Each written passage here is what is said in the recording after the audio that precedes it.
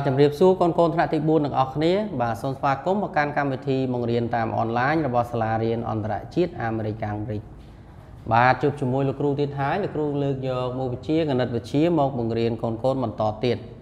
បាទតើកូនកូនបានរៀបចំសម្ភារៈសិក្សារួចហើយឬនៅ បាទរួចរាល់ហើយបើអញ្ចឹងមុននឹងចូលទៅដល់មេរៀនលោកគ្រូសូមឲ្យកូនកូនទាំងអស់គ្នាអានថ្ងៃខែជាមួយលោកគ្រូជាមុនសិនបាទ ថ្ងៃអង្គារ11រោចខែចេសឆ្នាំជូតោស័កពុទ្ធសករាជ2564ត្រូវនឹងថ្ងៃទី16ខែមិថុនាឆ្នាំ2020បាទគណិតវិទ្យាថ្ងៃនេះលោកគ្រូលើកយកមេរៀនទី15មកបង្រៀនកូនកូនបន្តបន្តទៀតបាទអញ្ចឹងមុននឹងចូលទៅដល់ចំណុចមេរៀនថ្មីលោកគ្រូសូមរំលឹកកូនកូនតិចថាតើកាលពីម៉ោងមុនគណិតវិទ្យារៀនអំពីអ្វី បាទល្អមុំនិងធាតរបស់មុំ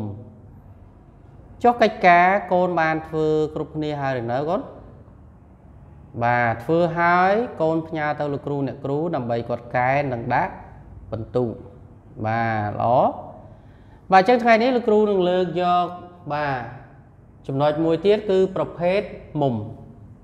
បាទប្រភេទមុំអញ្ចឹងកូនកូនបើកសិភៅទំព័រទី112កូននឹងឃើញចំណុចមេរៀនប្រភេទប្រភេទមុំបាទ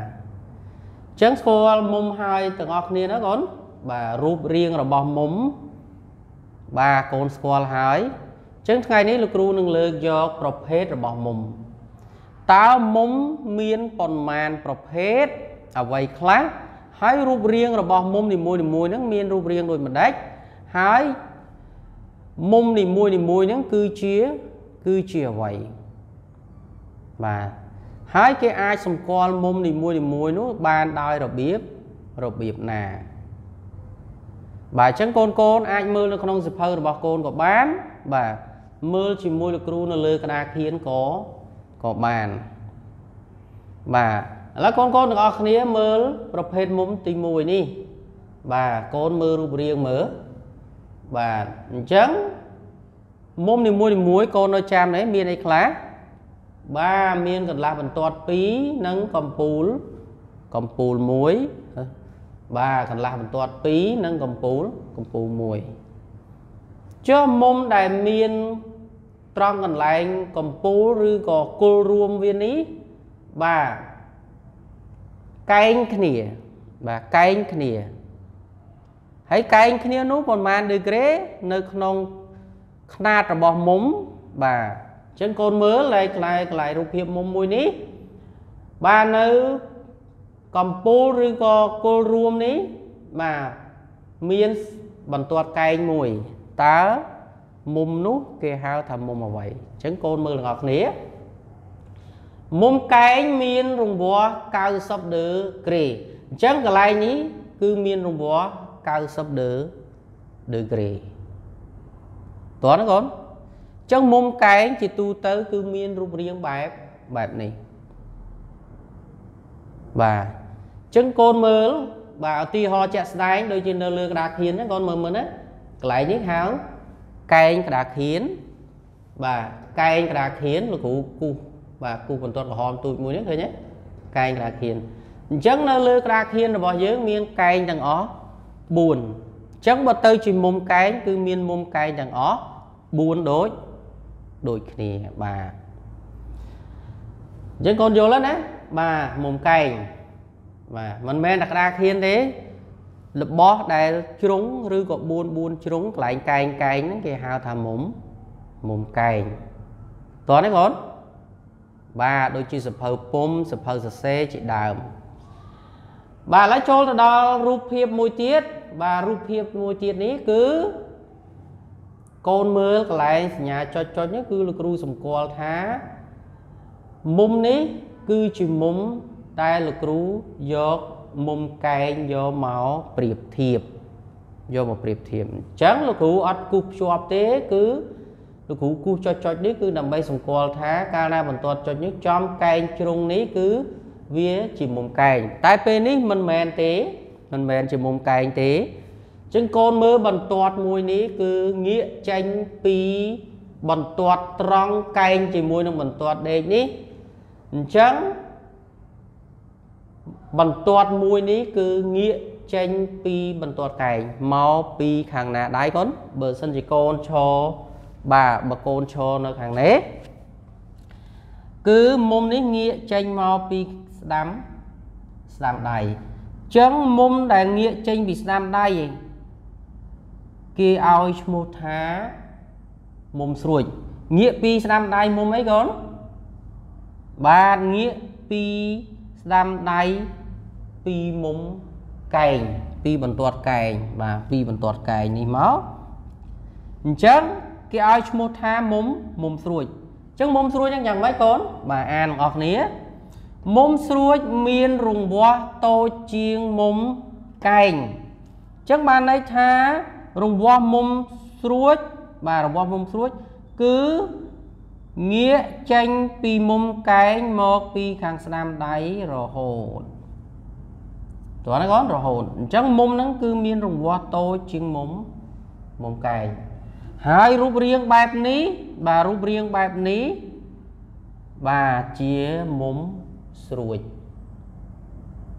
តើណាកូនជាមុំស្រួចអញ្ចឹងលោកគ្រូបញ្ជាក់ឡើងវិញថាមុំស្រួចគឺបាទមានរង្វាស់តូចជាងមុំកែងគឺមុំកែងមុំកែងខាងលើអញ្ចឹងបានន័យថាបន្ទាត់នឹងងាកចេញមកខាងស្ដាំដៃបាទបន្ទាត់នឹងងាកចេញមកខាងស្ដាំដៃបាទនេះគឺជាមុំស្រួចដែលលោកគ្រូលើកមកធ្វើជាទីហោសម្រាប់ប្រាប់ ទៅកូនកូនទាំងអស់គ្នាបាទបានស្គាល់ឥឡូវកូនមកមើលរូបភាពមួយទៀតបាទរូបភាពមួយទៀតបាទបន្ទាត់ដែលលោកគ្រូអត់ភ្ជាប់នេះលោកគ្រូគូសដាច់ដាច់នេះគឺចង់និយាយថាលោកគ្រូយកមុំកែងហ្នឹងយកមកប្រៀបធៀបបាទយកមកធ្វើសញ្ញាសម្គាល់ថាតើមុំមួយទៀតបាទមុំដំបងគឺ បាទងាកមកខាងស្ដាំឥឡូវមុំម្ដងនេះងាកមកខាងឆ្វេងមុំមុំកែងម្ដងបាទតើជាមុំអ្វីចឹងកូនមើលទាំងអស់គ្នាណាបាទចឹងមុំដែលងាកចេញមកពីខាងឆ្វេងដៃចឹងយើងយើងយកអានេះជាឆ្វេងដៃកូនណាចឹងងាកមកឆ្វេងដៃនៃមុំបាទនៃមុំកែងជាមុំទៀល ចឹងមុំទៀលហ្នឹងយ៉ាងម៉េចបាទកូនអានទាំងអស់គ្នាមុំទៀលមានរង្វាស់ធំជាងមុំកែងចឹងឃើញធំជាងកូនមុំកែងគឺមានរង្វាស់90ប៉ុន្តែមុំទៀលនេះគឺងាកមកឆ្វេងដៃបានន័យថាធំជាងមុំ9 90បើធំជាងមុំ90គេឲ្យថាមុំមុំទៀលបាទឈ្មោះគឺមុំមុំទៀល ចឹងមុំទៀលគឺមានរូបរាងបែបនេះបាទមានរូបរាងបែបនេះហើយគឺមុំទៀលបាទងាកចេញពីមុំកែងមកខាងឆ្វេងដៃហើយមានរង្វាស់ធំជាង90ដឺក្រេបាទមានរង្វាស់ធំជាង90ដឺក្រេតើណាកូនបាទតន់បាទឥឡូវលោកគ្រូបង្ហាញរូបភាពមួយទៀត បាទរូបភាពមួយទៀតកូនឃើញហើយបាទបន្ទាត់នេះគឺត្រង់ស្មើជាមួយនឹងផ្ទៃរាបបាទត្រង់ស្មើជាមួយនឹងផ្ទៃរាបអញ្ចឹងបាទបន្ទាត់ដែលលោកគ្រូអត់គូសភ្ជាប់នេះគឺដូចជាមុំទៀលខាងលើដែរគឺយកមុំកែងយកមកប្រៀបធៀបបាទឥឡូវមុំមុំរៀបបានមកពីណាមុំរៀប ក្រោយពីមុំទៀលយើងទាញទម្លាក់មកខិតខិតមកមករៀបស្មើជាមួយនឹងបន្ទាត់ទី1នេះ